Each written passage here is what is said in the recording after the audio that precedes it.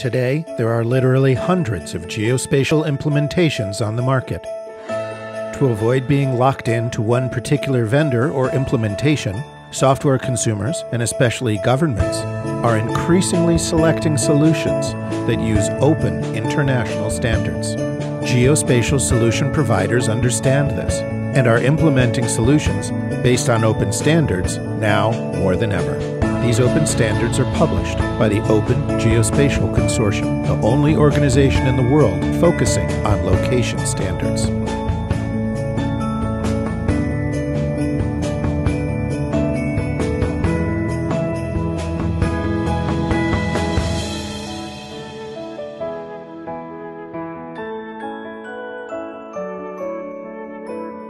Before investing in a product, customers often ask if vendors are implementing these open standards correctly, in other words, compliant.